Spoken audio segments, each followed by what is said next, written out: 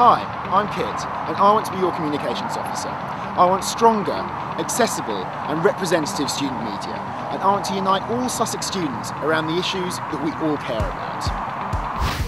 I believe that you shouldn't have to seek out student media, so as your comms officer, I'll make sure student media comes to you.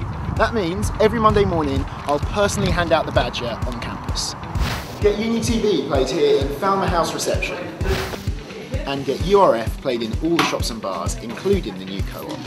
Student media currently only receives a small amount of money that only just covers its basic running costs. I'll lobby to get a bigger slice of the union's budget allocated to media so we can invest in new equipment for all media outlets. At this year's annual meeting, barely 100 students turned up. That's less than 1% of the student population. So I want to transform our annual meeting into a day of action held right here in Falmer House. It'll be a day of protest, policy debate, talks by external speakers and performances by our societies. I think this new approach to student democracy would help re-engage students and unite us all around the issues we care about. I'd also launch a Termly Sussex question time. Just like the David Dimbleby version, it will be about discussion and debate, but this time on the issues that are important to you.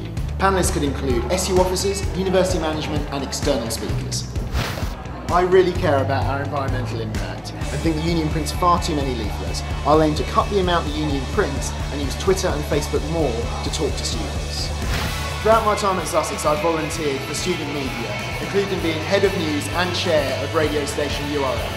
I hope this experience will help me in the role of comms officer. I also love Brighton and love Sussex and love what this university stands for. And it would be an absolute privilege to be your communications officer. For stronger media and a united Sussex, vote KIT for comms.